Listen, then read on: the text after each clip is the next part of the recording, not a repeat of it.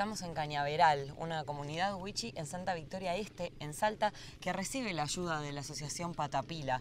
Hoy vamos a presenciar un taller de lactancia materna y el control y supervisión del estado de nutrición de los chicos.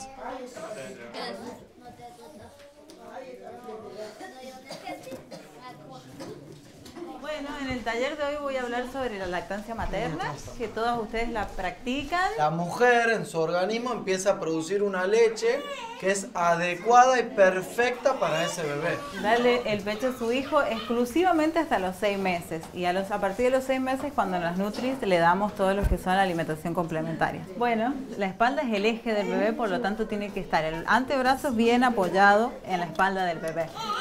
Eh, ante todo nosotros tenemos que estar en la posición más cómoda, ¿sí? Estar sentada con los pies bien. Y al momento de dar el pecho, nosotros tenemos que tener en cuenta que la nariz y la perita del bebé están bien apoyadas en nuestro pecho, ¿sí? ¿Esto por qué? Porque si el bebé se cuelga del pezón, eh, va a hacer que, que nos produzca grietas, ¿sí?